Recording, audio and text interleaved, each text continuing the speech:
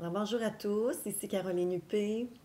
Donc, en tant que naturopathe, ma plus grande passion, euh, c'est de transmettre la connaissance des lois naturelles vivantes qui régissent le corps. Voyez-vous, euh, j'ai la forte conviction que tout peut se guérir. Eh oui, tout peut se guérir à condition, par contre, d'apporter au corps tout ce dont il a besoin aussi, euh, ce à quoi j'aspire, c'est que chaque personne euh, prenne conscience de tout le pouvoir qui l'habite, de ses capacités d'auto-guérison que le corps a et que ces personnes-là deviennent autonomes face à leur prise en charge de leur santé. C'est ça ma raison d'être à faire de la naturopathie alors, la naturopathie que moi, je pratique, c'est une naturopathie hygiéniste. Bon, il faut savoir que ce n'est pas tous les naturopathes qui ont cette approche-là. La majorité des naturopathes ont une approche symptomatique où on va apporter un soulagement grâce à telle ou telle plante. Euh, bon, c'est une approche qui se compare un petit peu à celle des médecins, sauf que la différence, c'est que les médecins, eux, vont en général donner des médicaments. Alors, l'approche des naturopathes, avec une approche plus symptomatique, euh, symptomatique c'est quand, même une, c'est quand même une alternative qui est très, très intéressante, selon moi. Bon, quant à l'approche hygiéniste que moi, je pratique, elle met beaucoup l'accent sur le terrain. Le terrain, c'est le constituant dans lequel baignent toutes les cellules du corps. Bon, avant de parler de terrain, euh, je, pense que c'est juste important de comprendre ce qui s'est passé il y a un siècle. Alors, il y a un siècle, euh, dans un laboratoire se retrouvaient euh, deux connaissances, deux amis. il y en a un qui s'appelait Louis Pasteur et l'autre s'appelait Antoine Béchamp. Alors, on sait que ça a été des grands chercheurs dans le domaine de la santé et Louis Pasteur avait comme postulat, euh, il y avait deux choses en fait que lui euh, posait comme hypothèse. C'est d'abord la stérilité, la stérilité du milieu interne humain. Alors lui, euh, c'est quelque chose auquel il croyait beaucoup. Pasteur reconnaissait qu'il y avait, qu'il y avait des bactéries. En fait, que s'il y avait des bactéries ou des virus dans le corps, c'était mieux de les éliminer. Quant à Béchamp, lui, euh, il avait une idée tout à fait différente et je dirais même à l'opposé. Lui, euh, comme postulat, il euh, il reconnaissait la non-stérilité du milieu intérieur du corps. Alors lui, il reconnaissait qu'il y avait des bactéries, des virus et des micro-organismes non pathogènes qui étaient là pour exister dans le corps et qui ne nuisent pas au corps. Alors au contraire, euh, lui, il a démontré euh, qu'il participe, les bactéries, les micro-organismes participent à l'équilibre du corps. L'autre postulat que Louis Pasteur euh, a voulu prouver, c'est ce qu'on appelle le monomorphisme. Alors ça, c'est quand on fait référence aux composantes du corps humain. Alors lui, euh, il était convaincu que les composantes du corps humain étaient figées. Alors ça veut dire qu'une cellule, c'est une cellule et un virus, c'est un virus. Quant à Béchamp, lui, euh, son postulat par rapport à ça était plus celui du pléomorphisme, c'est-à-dire que les composantes du corps, elles, peuvent se modifier en fonction du terrain. OK? Alors, euh, on sait très bien à quel point Louis Pasteur a eu énormément, énormément euh, d'influence dans la médecine moderne. Euh, cependant, sur son lit de mort, Pasteur a avoué qu'il avait tort et que Béchamp avait raison. Alors le problème est qu'un siècle plus tard, la médecine croit encore au postulat de Pasteur. Donc, c'est sa théorie qui a été euh, enseignée en médecine et qui perdure encore aujourd'hui. Donc, la médecine moderne cherche à protéger le corps contre les attaques microbiennes. Euh, la majorité des gens sont prisonniers de ce modèle-là parce que c'est ça à quoi ils font face euh, par rapport à tout le système qu'on a par rapport à la santé. Le modèle médical tel qu'il nous est offert, c'est ça qu'il nous offre. Alors, quoi que j'avoue par contre que euh, depuis 20 ans, euh, les médecins ont mis un petit peu la pédale douce, surtout en ce qui a trait aux antibiotiques. Alors ça, moi, je, le constate. Euh, par rapport à la façon dont on a élevé nos enfants, les médecins prescrivaient beaucoup, beaucoup d'antibiotiques. Et ça, c'est vraiment quelque chose maintenant qui, on le sent, ça change. Alors là, mais les médecins maintenant font très, très attention à ça. Alors heureusement. Donc, la naturopathie hygiéniste, quant à elle, elle repose sur le postulat de Béchamp, comme vous pouvez vous en douter. Alors, ce qu'on découvre, c'est que euh, l'humain est plus bactérien que cellulaire. Alors, ça, c'est ce qui confirme le postulat de non-stérilité de Béchamp. Donc, on, a, on aurait dix fois plus de bactéries dans le corps que de cellules.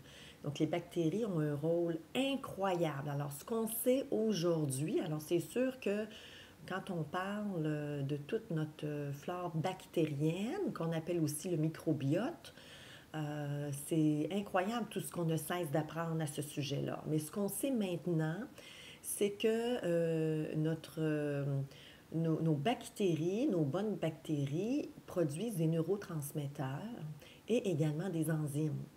Aussi, il participe à l'assimilation des nutriments. Alors, c'est quand même pas rien. Puis elle serait impliquée dans le fonctionnement du système nerveux central. Donc, son rôle se compare beaucoup à des fonctions glandulaires. Donc, c'est quand même assez majeur. En plus de ça, euh, on est encore, en plus de, de, tout ce qu'on sait par rapport euh, euh, aux bactéries, on sait très bien qu'on va découvrir beaucoup d'autres choses dans le futur parce qu'on est vraiment au tout, tout début de la compréhension euh, du microbiome. Donc, avec ces nouvelles connaissances-là qui confirment l'importance euh, des micro-organismes dans le corps, les antibiotiques, puis quand on dit antibiotiques, ça veut dire anti-vie, euh, ils perdent beaucoup leur raison d'être parce qu'ils tuent la vie. OK? Donc, si on admet qu'on est essentiellement euh, un microbiote, donc un ensemble de bactéries, euh, et non, et en fait beaucoup plus que des cellules, donc prendre des, des antibiotiques qui sont surtout non ciblés, c'est une forme de suicide. Il faut être conscient de ça. Là. Alors, les antibiotiques, c'est une forme de destruction massive.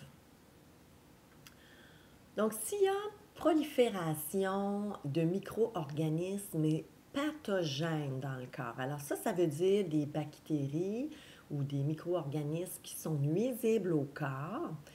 Euh, c'est qu'ils sont la résultante de l'état d'un terrain acide. Alors ça, c'est surtout, c'est vraiment selon Béchamp. Donc on s'entend euh, par rapport à ça. Donc, euh, le problème, c'est pas le micro-organisme en tant que tel mais bien la qualité du terrain dans lequel le micro-organisme a la chance de se développer. Alors ça, c'est quelque chose qui est très, très important de comprendre. Et je vais vous donner l'exemple euh, du candidat. Alors le candidat, euh, bon, ça c'est quelque chose qu'on voit régulièrement. Euh, le candidat, c'est une, c'est vraiment une infection à levure donc, il existe beaucoup de traitements qui sont anticandidoses, euh, qui sont naturels, et puis euh, qui font qu'après quelques semaines, on se sent beaucoup mieux et que les, symptômes de candida disparaissent. Mais on se rend compte souvent qu'après quelques mois, le candidat revient. Alors, mais pourquoi? Pourquoi ça arrive euh, à ce moment-là? Bien, c'est tout simplement parce que le terrain n'a pas été modifié. Il est resté le même alors les micro-organismes vont réapparaître sous la même forme ou même sous une autre forme également. Et dans le cas du candidat, bien, à ce moment-là, ça va se transformer en champignons qu'on appelle des champignons filamentaires. Euh, donc, c'est comme des, filaments et qui traversent la muqueuse digestive pour aller à l'intérieur du corps à ce moment-là. Donc, un terrain plein de déchets va attirer les micro-organismes qui vont les manger dans le but de les éliminer. Et le meilleur exemple qu'on peut donner, qui est extrêmement concret, si vous avez, vous, euh, des poubelles euh, que vous sortez à l'extérieur, j'espère du moins qu'elles vont être à l'extérieur, et vraiment vous avez des déchets là-dedans là, à un niveau très avancé, bien, vous allez vous rendre compte qu'il va y avoir des insectes qui vont tourner autour, hein, des petites bébites qui vont tourner autour. Alors, c'est quoi la solution? Est-ce que c'est de taper, euh, sortir son tape-mouche et d'éliminer les insectes? Ou la meilleure solution, c'est d'éliminer les déchets? Alors, la meilleure solution, bien évidemment, c'est d'éliminer les déchets. Alors, à ce moment-là, on est certain que euh, on ne sera plus infecté par euh, des moustiques. OK? Alors, ça, c'est un bon parallèle à faire. Euh, bon, également, ce qu'on constate avec Béchamp, c'est son fameux pléomorphisme qui nous amène à croire l'importance du terrain. Alors, j'en parlais un petit peu tout à l'heure. En effet, euh, les micro-organismes et les cellules changent de forme, en fait, changeraient de forme en fonction de la qualité du terrain. Le terrain, ça, c'est le constituant de base du corps. C'est le liquide interstitiel dans lequel se retrouvent toutes les cellules du corps. Donc, le pH du terrain est l'indicateur par excellence pour qualifier euh, le terrain, à savoir si on a un bon ou un mauvais terrain. Alors, bien évidemment, si le terrain est acide, c'est que notre terrain euh, n'est pas de bonne qualité. Et si le terrain corporel est légèrement alcalin, normalement, on devrait se situer aux alentours de 7,2. Alors, à ce moment-là, euh, le terrain est de bonne qualité. Donc, le meilleur exemple que je peux vous donner, c'est une plante. Alors, c'est le terrain avec toutes les conditions environnantes qui vont faire, qui vont déterminer de la santé de la plante. Bon, c'est la même chose aussi avec le corps humain, bien évidemment. Alors, si vous ne donnez pas d'eau à votre terrain, eh bien, la plante risque de mourir. Euh, si par contre vous lui donnez des bons nutriments, vous la nourrissez bien, en plus de lui donner du soleil, votre plante va être à ce moment-là en très bonne santé. Alors, c'est la même chose pour nous les humains. Donc, on pourrait se pencher, euh, bien évidemment, euh, sur la pertinence de diverses pratiques médicales. Hein. Euh, bon, on a juste à, penser à la chimiothérapie. Bon, à quoi, à quoi ça sert de tout tuer quand aucune modification du terrain est apportée? Alors, ça, c'est une question, je pense, qui vaut la peine d'être posée. Et malheureusement, ben, il n'est pas rare et pas surprenant de voir autant de rechutes également. OK? Donc, euh, enfin, l'avantage euh, de la naturopathie euh, hygiéniste, c'est qu'en travaillant le terrain, on s'attend toujours à la toute première cause du problème. Ça, c'est très, très, très important. Et c'est tout le corps qui s'en porte mieux. C'est beaucoup en changeant le mode de vie, beaucoup au niveau de l'alimentation aussi, les changements alimentaires qu'on va faire, et en comprenant les lois naturelles vivantes qu'on arrive à bénéficier d'un terrain de meilleure qualité. Et ça, c'est tout à l'opposé d'une approche qui est fragmentée, euh, qui s'attarde juste à une espèce spécifique du corps, comme on va faire avec une, approche beaucoup plus euh, symptomatique à ce moment-là. Bon, Pasteur euh, a fait preuve, je trouve, de beaucoup d'humilité sur son lit de mort en, avouant ses torts, ses erreurs par rapport à ses hypothèses. Ça, vraiment, je trouve c'est un bel acte de noblesse qu'il a été capable de faire. Et pourtant, la science persiste encore dans, la, dans son approche, qui manifestement ne donne pas des résultats escomptés au niveau de la médecine. On, on, voit à quel point euh, oui, on prolonge la vie, mais la qualité de la vie des individus ne s'est pas beaucoup améliorée. Au contraire, moi, je vois plus qu'elle s'est détériorée. Donc, c'est fou comment euh, c'est long à changer les mentalités. Moi, c'est ce que je, me rends compte aujourd'hui. C'est le constat que je fais, qu'on soit au courant de tous ces faits-là et qu'il y a eu très, très peu de changements apportés dans notre médecine moderne. Vous trouvez pas ça, vous? Alors, euh, mais pour ceux qui sont prêts euh, à entendre et comprendre euh, des lois naturelles du vivant, bien, il y a toujours d'autres modèles, d'autres paradigmes, comme l'ont démontré, bien évidemment, Béchamp. Et ça, ça existe. Alors, la naturopathie hygiéniste fait partie de ça. Alors moi, je vous invite, je vous invite peut-être à porter une attention particulière par rapport euh, à cette approche-là.